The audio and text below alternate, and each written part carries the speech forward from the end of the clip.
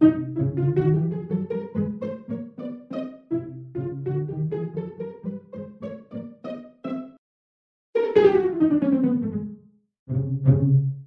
位网友，大家好，小橘子们好，我是橘座张兆忠啊。今天给大家聊一聊 EA 十八 G 咆哮者电子战飞机。哎呀，这个太专业了啊！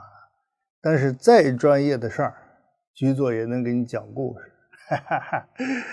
哎，你以前一点都不懂，听完了我这一段，你就什么都知道了。电子战飞机，这个。EA 十八 G 呢是美国波音公司，大家知道波音七四七啊，波音七六七啊，波音七三七啊，波音七八七啊，哈哈波音公司生产民用客机的，但是电子战飞机啊也是他整的，好多战斗机也他，这就叫军民融合。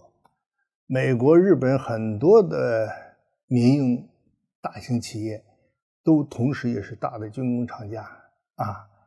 这个像日本的三菱啊、川崎重工啊，都是这样造潜艇、造航空母舰啊。现在呢，就是日本呢决定说要采购一批这个 EA 十八 G 咆哮者。呃，说为什么要采购这个？呃，我前不久看一个新闻说，日本在二零一八年到二零一九年有可能达到一百架 F 三十五 B 或 F 三十五 A。啊，怎么这么多？因为日本他要自己就买四五十架，然后这个另外再加上美国部署在日本的，可不是嘛？加起来以后四代机就这么多啊！现在呢，有个人说这个说美国卖给日本的这个 EA 十八 G 咆哮者会不会上航母啊？前不久我给大家讲过，在张志忠说里头，就是说 F 三十五 B 有可能上出云号和加贺号航空母舰。现在大家呢就说啊，咆哮者会不会上？不会。为什么不会？从技术上来讲呢是这样，就是美国的航空母舰十万吨，日本的出云和加贺，呃，不到两万五千吨啊，这个两万四千吨左右满载排水量。长度呢，美国那个三百五十多米，它这个只有二百五十米都不到啊，机库也没这么大，对不对？这个 EA 十八 G 呢，它是蒸汽弹射或者是电磁弹射起飞，然后阻拦索降落。出云和加贺这两个都没有，没有蒸汽弹射器，也没有阻拦索。加上这个 EA 十八 G 它是三代机，改了之后也顶多算三代半，没有办法垂直起飞和垂直降落。所以说上航空母舰这是吹牛。我分析呢。呃，日本买这个 E 十八 G 呢，它主要是对抗中国的歼二零、俄罗斯的苏五十七和朝鲜的威胁，主要是这三个目的啊。现在这个 E 十八 G，呃，有一架飞机，它那个飞行员座舱外边，就相当于咱们那个汽车驾驶员啊，司机开车的这个地方，车门这个地方，哎。涂着一架 F 二十二的一个飞机的标志，这个区域只要是涂上这个标志，就证明被它击落的。如果你是开车的话，你下次你在你那个车外头也喷上一个，今儿撞了一个凯迪拉克，涂上一个凯迪拉克，啊，明儿撞一个玛莎拉蒂，涂上一个玛莎拉蒂，哈 哈就在车门外头这个地方涂。说这个 E 十八 G，它能把这个 F 二十二给打下来吗？打下来了，不是真的，是军事演习的时候。说军事演习的时候，怎么样就判断它能够把 F 二十二给打下来呢？啊，我记得原来 F 幺七服役的时候，那个时候是二十世纪八十年代，八十年代中后期，呃，到九十年代初期啊。F 幺七第一次使用是一九八九年十二月，当时这个这个突袭巴拿马的时候第一次使用。呃，大家都说这个隐身飞机呢，雷达是看不着的。我就从那个美国海军的一个学术杂志叫《Proceedings》，我天天看那玩意儿，啊，全英文的嘛，啊，就美国海军写了一篇文章，他说，美国空军 F 幺七这个隐身战斗机，号称所有雷达都看不着，但是在我们提康德罗加级巡洋舰这个雷达里头，清清楚楚的一个飞机从它起飞到它降落，空中所有的巡逻，我们看的都很清楚，没有问题啊。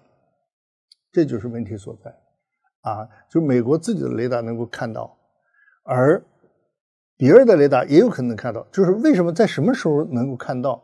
就是他们在演习的时候，这个演习时间它是呃，A 十八机二零零八年服役啊，结果呢，服役的第二年，二零零九年搞了一次军事演习。这个演习的过程当中，然后这个 F 二十二起飞。起飞以后，这个电子战飞机负责寻找它。照说呢，应该 F 二十二起飞之后隐身，自己不发射电磁波，然后这个 EA 十八 G 呢，然后主动的搜索，开雷达以后主动搜索在哪儿。结果呢，这个 EA 十八 G 它这个电子战飞机的战术采取了它静默，我不发言，我也不搜索，我主动雷达不开机。我被动监控，看看你这个 F 二十二在哪里？哎，F 二十二这个飞行员说：“这家伙，这个 E 十八 G 他不是在找我，他说找不到我还是怎么了？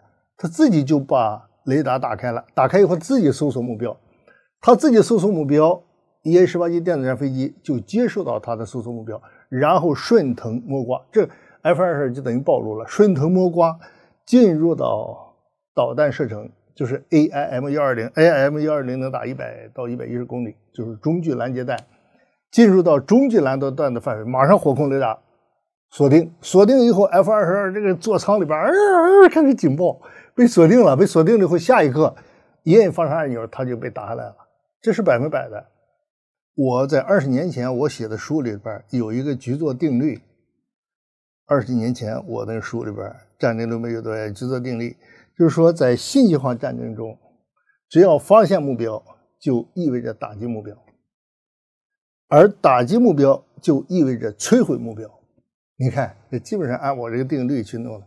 就是 F 二十二被发现，被对方的火控雷达照射追踪，后边就不用再按那个发射按钮了啊！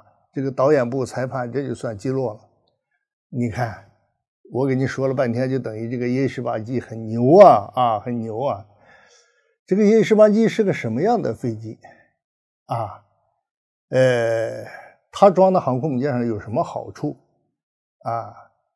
这个飞机本身啊，也就一般，因为就是 F A 十八，这是一个标准型的二十世纪八十年代搞的一个三代机，F A 十八。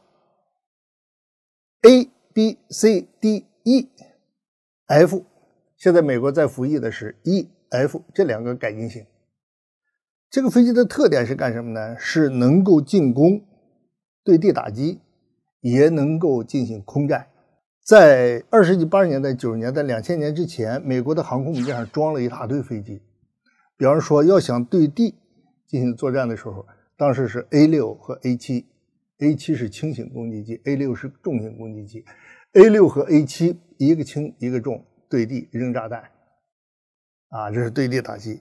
空战呢，F 十四、F A 十八，当时就负责对空进行作战。电子战飞机 E A 六 B，啊，另外还有反潜机 S 三呀，什么加油机啊，E 二 C 啊，将近九个型号的飞机。两千年之前，一艘航空母舰上八九十架飞机。其中有八到九个型号，现在呢，这个 E 十八级咆哮者上了舰以后呢，就等于整个航空母舰上就三个型号，啊，三个型号，哪三个型号呢？战斗攻击机 F A 十八 E F 四个中队，一个中队十二架，四乘一十二，四十八架，你看都是一个型号，F A 十八 E F 大黄蜂。超级大黄蜂啊，然后在 F A 十八 E F 这个基础上改进了 E A 十八 G 咆哮者。你看这个飞机是一样的，平台是一样的，只不过上面带的东西不一样。你那个上面带着一堆导弹、炸弹，我这个上面带的是电子战吊舱、反辐射导弹啊，带的是这些东西所以说呢，这就减少了飞机的型号啊。其他的还有什么 E 二 C 呀、呃预警机呀，还有这个直升机啊，这一共就三个型号。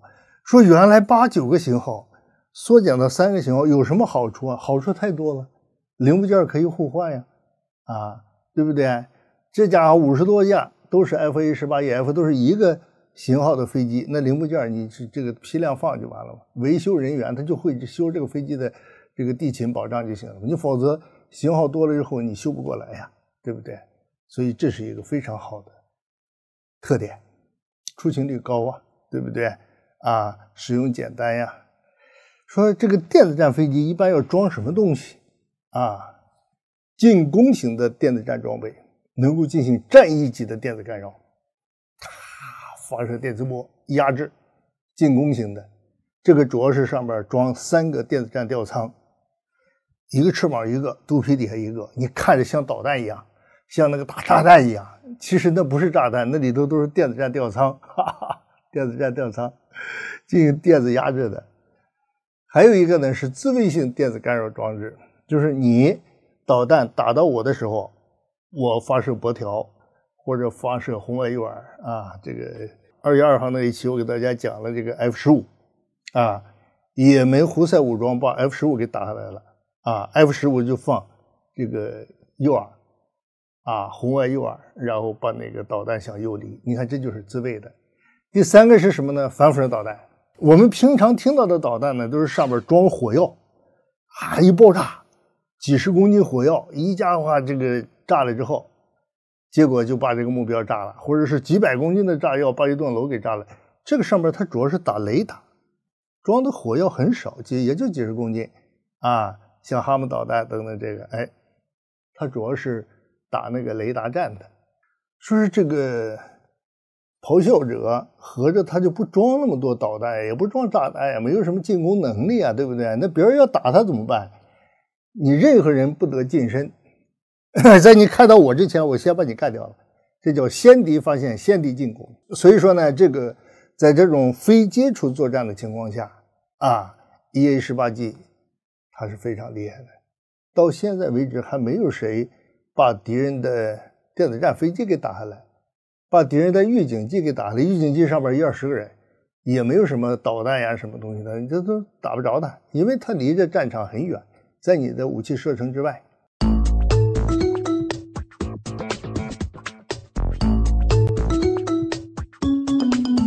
各位网友大家好，小橘子们好，我们去做找中微信公众号“军品会商城”啊，给大家准备了一些好东西，这是书。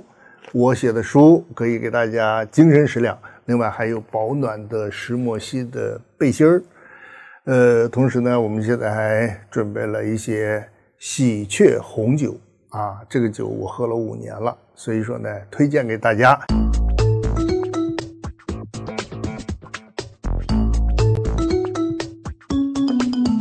以往的作战要进行战役级的电子干扰，采取什么办法？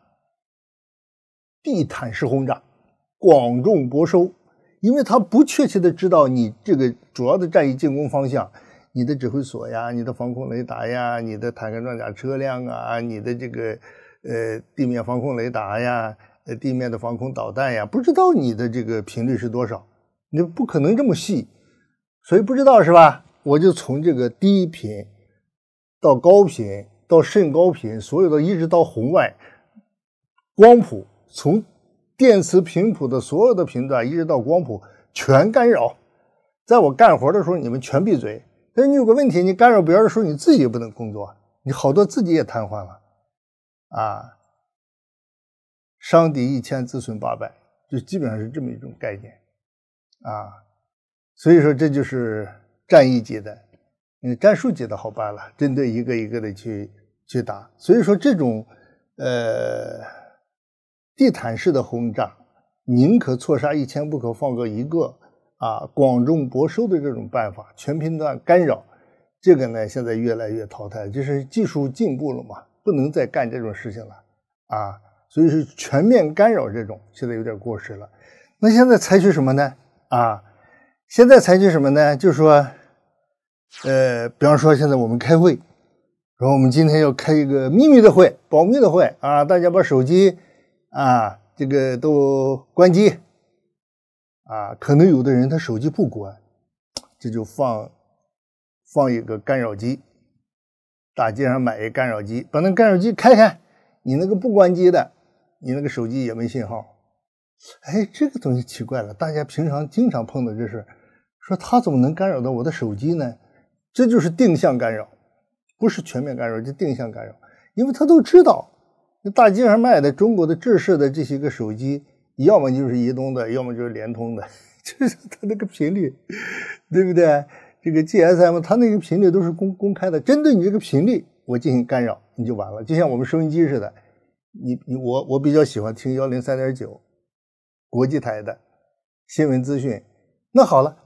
知道局座喜欢听幺零三点九，我就专门针对幺零三点九干干扰，那那就是这叫点对点定向的，专门针对这个频率的，你就收不着了。所以这是个办法。但是你怎么知道敌人的雷达站它的频率是多少呢？啊，这就是要采取各种的办法去诱惑他那个雷达开机啊，然后开机之后我抓住它的频率，然后再对它打击。一九九一年一月十七号，海湾战争开始之前，有一个重要的战役行动，啊，这在史册上很少有人记记得，啊，大家都注意那种，啊，这个这个这个重大的一些作战行动，啊，呃，像这种电子战行动，大家不太知道。第一个行动叫白雪行动，雪花白雪行动，就是在正式开战之前，先有这么几个小时的白雪行动，就是在主要进攻方向上。把伊拉克地面防空雷达、通信系统、啊指挥所所有东西全给它干扰掉，干扰掉以后，下边就会出来了 F 幺七进入，F 幺七进入就离着地面几百米在那飞，扔炸弹、激光制导炸弹、扔炸弹，整个的巴格达上哇，炮火呀、导弹呀，这个这个这个这个机枪啊往天上射，就像放烟火似的，但是一架飞机也打不着，他根本不知道飞机在哪，为什么？雷达已经瞎了。啊，这就是白雪行动、草原烈火行动。草原烈火行动是当时怎么回事呢？是卡扎菲画了一道死亡线，这个死亡线距离他这个海岸是二百海里，在自己的二百海里之外画一条线圈起来，说是自己的领海，这显然是错误的，违反国际法的。美国说你这是胡闹了，你怎么能这样呢？这是公海呀，你怎么画起来当领海了？这是不行的。美国呢，就派了三个航母战斗群，说要进行军事演习。卡扎菲说：“你要是敢闯过死亡线，那就是对利比亚开战，我就让你三个航母有来无回。”然后呢，美国三个航空母舰就来了。当时是第六舰队司令凯尔索上将，我记得这个人很清楚，因为我一直在研究他嘛。他就报里根，里根总统批准，就就就就开进来了。这个凯尔索上将指挥这场作战了以后，当了美国海军作战部长，就是美国司令嘛，美国海军司令嘛。然后开过来之后，利比亚马上起飞两架战斗机去拦截，这边 F 十四起飞，很快就把他干掉了。干掉以后，美国就说：“这可不是我先开战啊，是你先来拦截我，我把你战斗机干掉了。”美国的啊电子战飞机就编队就侵入到利比亚的领空。就是沿海一线就侵入过来了，侵入过来以后呢，这个利比亚的地面雷达就开机啊，咔地地面的这个搜索雷达、警戒雷达、地空雷达就开开机，开机之后，E A 六 B 电子战飞机马上就捕获了它雷达的频率，这叫电磁频谱，因为你开机了嘛，一开机就知道你的频率是多少了。那开机多长时间？不用长，几秒钟就可以把你的频率一获取。获取之后就输入到它那个反辐射导弹的制导系统里头去了，这就可以针对性的，就像局座听幺零三点九，他知道听幺零三点九，他捕获这个信息之后，把这个信息给它进入它的干扰频段，一干扰你就听不见了，它就这个道理。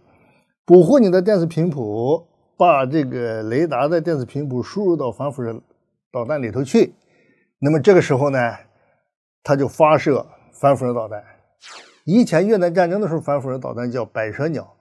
到了这个时候，一九八六年这个时候，啊，就有了最先进的叫哈姆反辐射导弹，然后一 A 六 B 就过来了。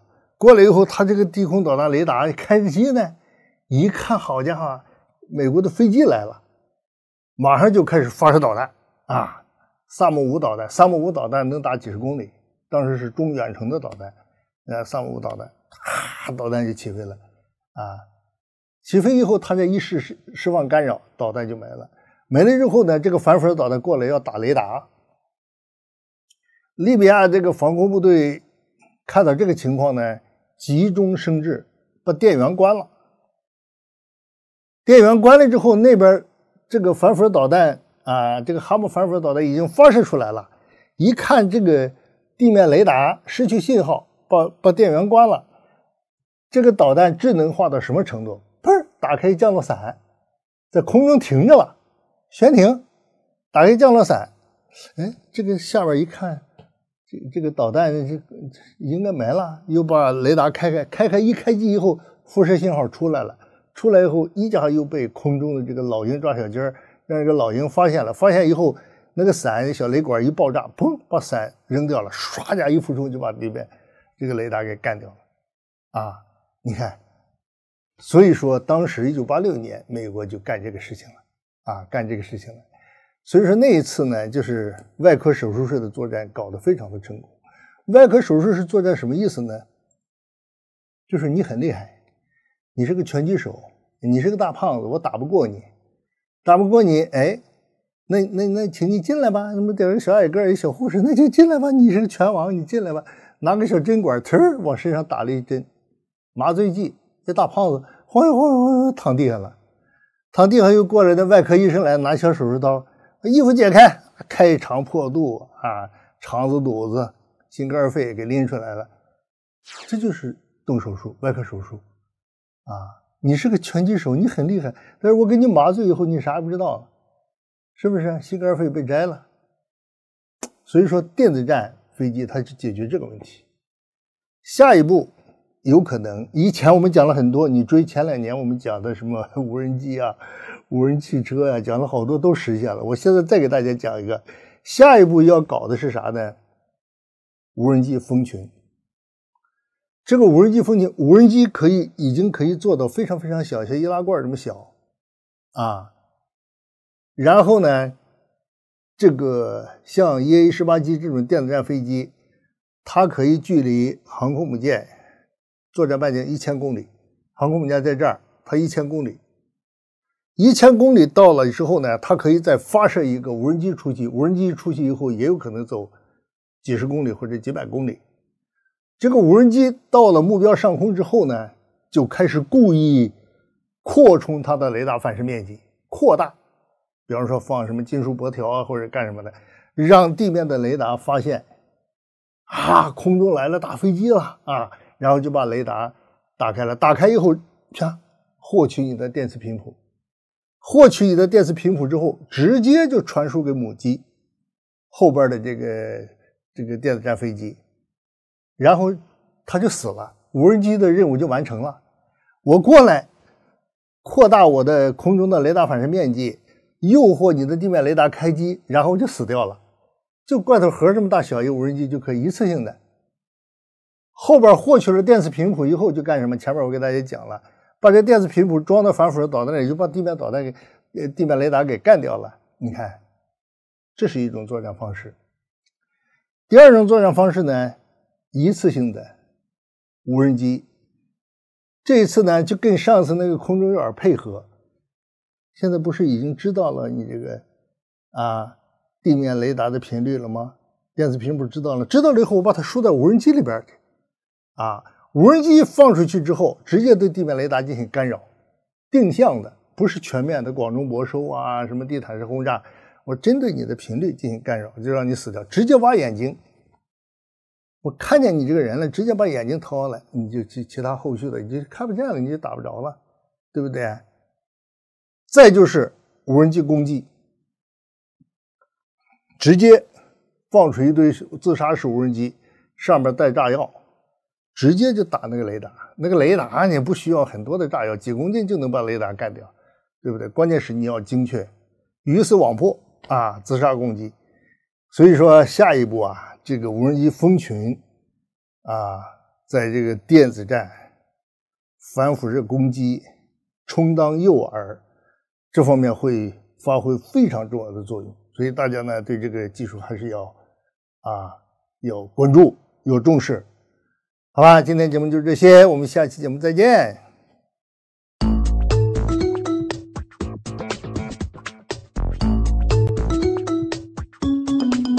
各位网友，大家好，小橘子们好，我们橘子找中微信公众号“军品会商城”啊，给大家准备了一些好东西。这是书，我写的书，可以给大家精神食粮。另外还有保暖的石墨烯的背心儿。